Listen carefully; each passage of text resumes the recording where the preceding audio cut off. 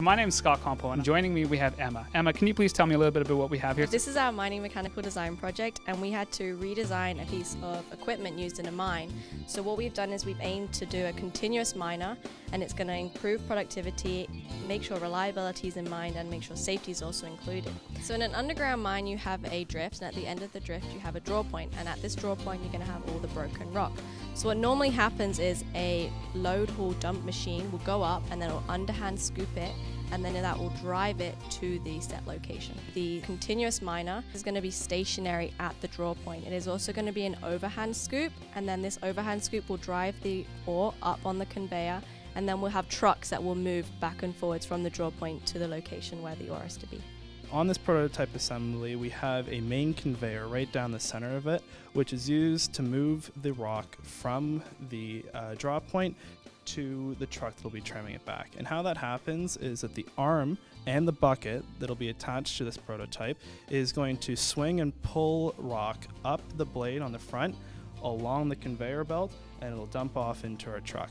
This whole thing is mobile by these two tracks that are on either side. There are drive motors on the two rear rollers of these tracks. The front is just on an axle, it doesn't have any driving power but the motors on the two drive uh, wheels will be able to power it around in order for it to move between different draw points. Lukas, can you please tell me about some of the difficulties or challenges you guys experienced? Uh, so our first challenge was sizing the drive motors. Obviously, it's a pretty big prototype, and so we needed to do some calculations based on the weight of this thing to decide what motors we needed. Our next challenge was getting the right actuators for the arm of this machine. So we needed to pick actuators that had the right extension to reach out into the pile and also were strong enough to pull the material in onto the conveyor. So the third challenge was getting control of this vehicle. So the heart of our control system is an Arduino microcontroller inside, and that sends signals to subsequent motor controllers which control the drive motors and the actuators. On our Arduino, we have an external shield which gives us Bluetooth access to the vehicle. So we can, from a handheld device, we can control uh, the vehicle and teleoperate it. And then also on the vehicle, we'll have a camera that gives us live camera feed. So in theory, you would have an operator, perhaps in a control room up on the surface, who can just operate this machine without having to be underground in the mine.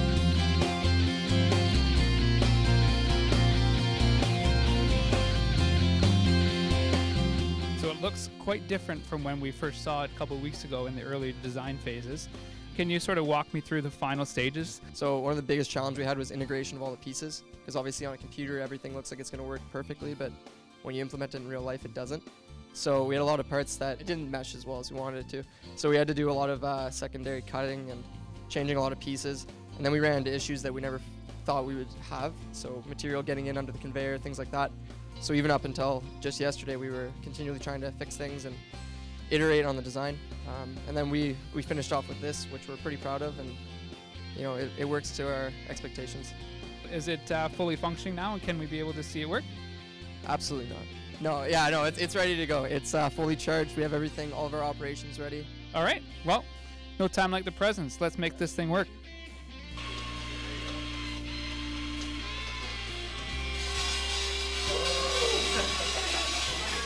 Look at that efficiency, guys.